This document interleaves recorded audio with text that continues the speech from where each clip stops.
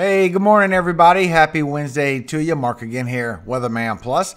Now, I'm going to give you the updates on what's going on in the tropics, because what's been showing up in the last few runs on GFS is a bit concerning, but I'm going to show you the data. Remember, all the links are in the description to help save you time. Please use them if you're in a rush. Thank you for your time. If you've never been here before, make sure you subscribe. I am all year long. First of all, let's go through the tropics because it's still showing up on the latest runs on GFS as well. But remember, this is only showing up on GFS, guys. And when I show you the data, you'll understand it a little bit better. GFS is not really good when it comes to mixing around with dust, just like Euro is not real good when there's landfall interaction. Each model data has its own perimeters that really messes up the model runs. Now, just like I showed you yesterday, there is that pocket in between these plumes of dust where some formation could come out of these systems in the Caribbean. And yesterday on the 6Z run on the early morning, it did show something on GFS forming up right on the 16th and 17th and it showed it going straight over to Yucatan, straight towards Mexico, a very strong hurricane. Which you can see right here on your precipitable water, showing that it has a lot of precipitation in it, that the dust is not affecting it, and it just forms up really strong going towards Mexico. Now that has been the trend that it will go towards western Gulf of Mexico and most likely into Mexico more than the States. But these model runs are pretty concerning, especially when there's a lot of dust that's heading into the Caribbean. Then the run immediately after the 12Z, which is usually the best data, the 12Z and the 0Z, that's when those balloons go up and get the best weather information. It showed an even more concerning storm to look at. It started around the 15th and 16th, which is literally about nine days away. And then it goes all the way through the Gulf, strengthening nonstop, all the way down to 947, and goes all the way towards Texas, a very much major hurricane. And when you look at the precipitable water, you can see why this is so concerning because it just goes right into the Gulf, and we all know how strong the Gulf can be this time of year, and it just intensifies and brings catastrophic amount of rainfall towards the whole Gulf and affecting Louisiana, Mississippi, and especially Texas. A very nasty looking system. And it showed a crazy amount of strength. It showed all the way up to 123 miles per hour wind gusts with it. Just very much a catastrophic storm really early in the season. Even the 6Z early this morning shows the same thing, a little bit different because it showed a cold front coming and smacking it away from Texas, but it showed it still strengthening towards the Gulf and curving towards Florida once again, which we all know with this dust coming in, this big high pressure, that would just be impossible. But let me show you the data and what I'm going by to show that this model run is not true. Matter of fact, I'm showing the Euro, matter of fact, is not true as well. I'm showing the Canadian has got it correct. But you can see with the precipitable water that the cold front would come in and hit that away from Texas. That's why it's showing in that model run that is turning towards Florida. But you can also see when you look at your Arctic oscillation at how far away is talking about this cold front coming down. So this is pretty far in the model data for it to be even close to correct because it's already making changes around the 10th and 11th. That is way too far to be predicting or showing something confirmed as a hurricane coming or a cold front. Now, when you look at your MJO, your Madden-Julian oscillation according to the Euro, you can see that we do have this cold front that we are dealing with, and there is a chance for a cold front to bounce in real quick right around the time that the GFS is showing. But this data part right here on the MJO always changes and is too far to be sure. Even though Euro is showing a quick cold front, that don't make this storm true at all. Now, when you go by the NASA satellite, which is a very accurate satellite, it's not the Euro, it's not the Canadian, it's not the GFS. This is a NASA satellite to look at the dust. And while we're looking at the dust, we can look at the precipitation that's in the area as well. And you can see that the dust does move in. And while we start getting this little churn right here, right around the 10th, it carries it continuously to the west, southwest. That's where it has to be suppressed. But you can also see as it goes to the west, and it goes right over the Yucatan. This is the first part of it. And it starts forming up to possible cyclone locations right around the Bay of Campeche, also right here on the eastern Pacific of Mexico. So these would be the two locations that you need to go by as something forming up as far as the model data. And if it don't match up to this, whatever outcome it has after that, I would not go by it. But you can also see when you look at the dust at the second one, it does not head to the north, that it keeps getting suppressed by this second plume, even though you have this big area right here of not so thick of dust, you still have this big high pressure forming up and it's still blocking. And all this precipitation gets shoved to the south, southwest. It don't head north, it heads south towards the Pacific right over Honduras and Nicaragua. And for the runs on GFS to be correct, this would have had to make a northern track and not a southern track. So when you go to check and try and model it up with what NASA sees, you can see that when that system gets around the Eastern Pacific, right around the 10th through the 13th that there is nothing in the Bay of Campeche. So this is not forming up with what NASA satellite is seeing at all. So whatever comes after that don't even matter because it's already not matching up with the two systems. Even the latest run, the 6Z this morning, still does not match up with what NASA satellite is seeing. There's just the one system on the Eastern Pacific, and it's not showing the one in the Bay of Campeche lining up with the one in the Eastern Pacific as well. So what comes after this, just you cannot go by because it's not even showing true already. But before you start thinking that the Euro is it, because Euro is good model data, it depends on what the data is. Euro is real good on reading the lift as well as the sinking air. But as far as the model runs, the data just isn't confirming what the NASA satellite sees as well. You see it shows the one in the Eastern Pacific. It shows it very weak and going to the west, but it's not showing neither one. It's only showing the one in the Eastern Pacific, just like the GFS. Now, when you go by the Canadian model, the GEM model, you can see it does show the one in Eastern Pacific like the Euro does see as well, but you can also see it does bring up the two, just like NASA is showing. And this is more likely the outcome because it's more consecutive with what NASA satellite sees as two consecutive, one on Eastern Pacific and one in the Bay of Campeche. And the Canadian model shows that it will be something going towards northern Mexico. It would not be that strong storm that you see going towards Florida, towards Texas, that you've been seeing in the last few model runs.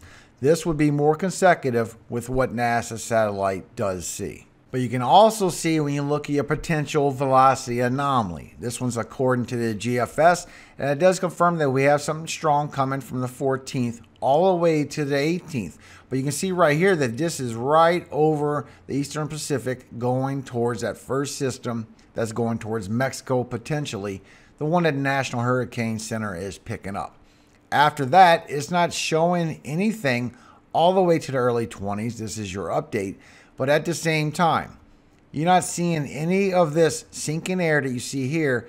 You're not seeing any of this dust before this system, and you're not seeing any of this dust after this system. And obviously, this is all in the Caribbean, very thick, and coming for quite some time. So even though I like GFS model because it is a long range accurate model, one thing it's not good with is the data with the dust.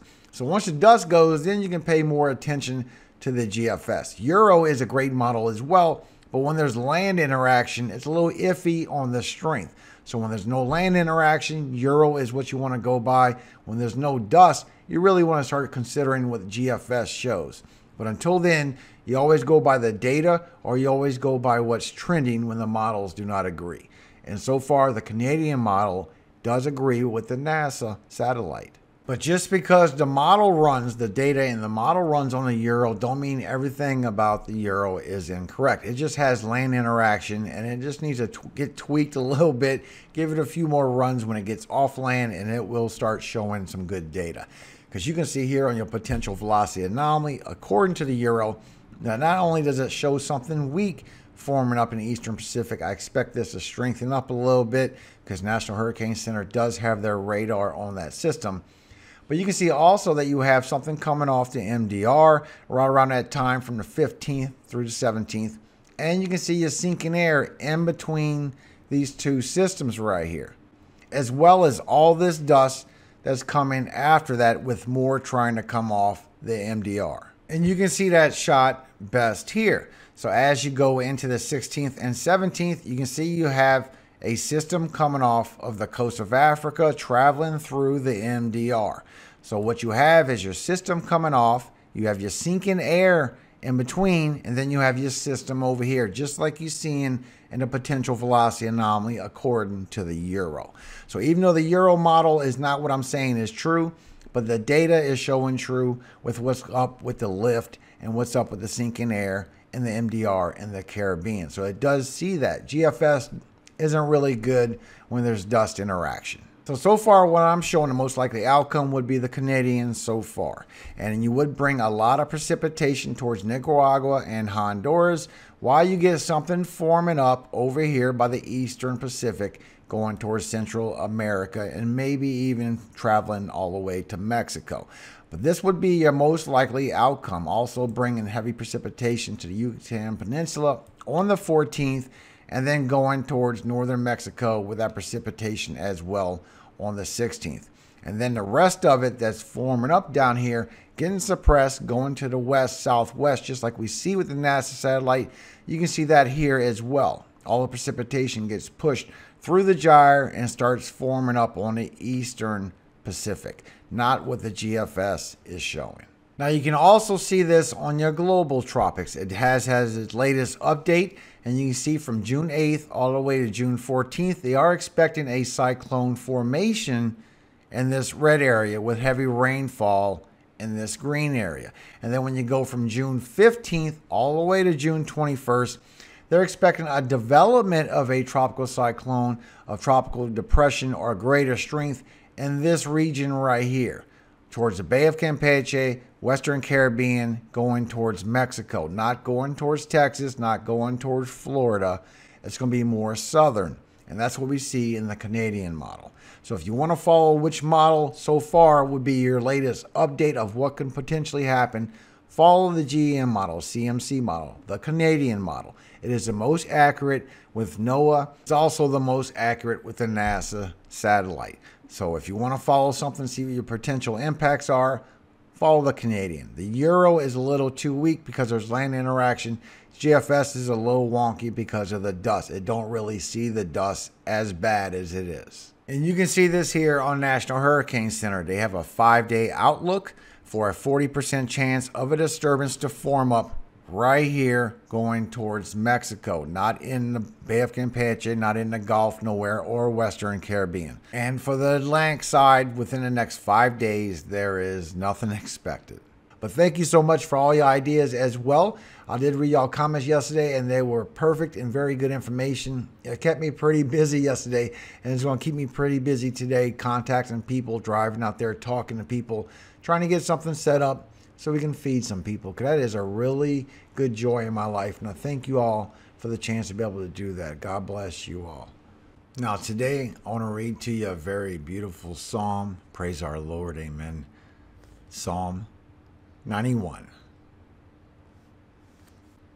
He that dwelleth in the secret place of the Most High shall abide under the shadow of the Almighty. I will say of the Lord, he is my refuge and my fortress, my God. In him will I trust.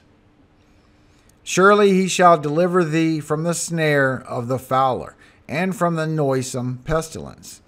He shall cover thee with his feathers, and under his wings shalt thou trust. His truth shall be thy shield and buckler. Thou shalt not be afraid for the terror by night nor for the arrow that flieth by day, nor for the pestilence that walketh in darkness, nor for the destruction that wasteth at noonday. A thousand shall fall at thy side, and ten thousand at thy right hand, but it shall not come nigh thee. Only with thine eyes shalt thou behold and see the reward of the wicked, because thou hast made the Lord which is my refuge, even the Most High, thy habitation. There shall no evil befall thee, neither shall any plague come nigh thy dwelling. For he shall give his angels charge over thee, to keep thee in all thy ways. They shall bear thee up in their hands, lest thou dash thy foot against a stone. Thou shalt tread upon the lion and adder. The young lion and the dragon shalt thou trample under feet. Because he has set his love upon me. Therefore will I deliver him. I will set him on high, because he hath known my name. He shall call upon me, and I will answer him. I will be with him in trouble. I will deliver him and honor him. With long life will I satisfy him and show him my salvation. Amen. God bless you all today. I hope you have a very blessed day. I hope this eases your mind a little bit about the tropics.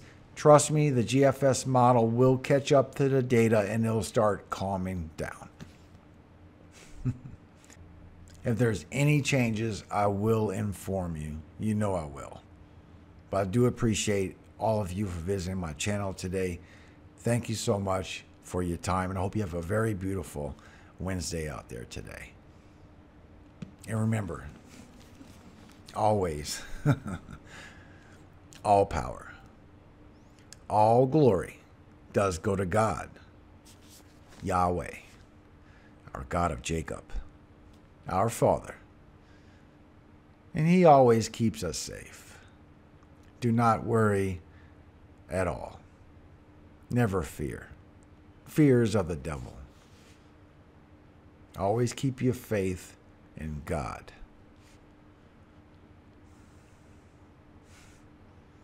Amen. Hallelujah. God bless you all. Have a very very great Wednesday today.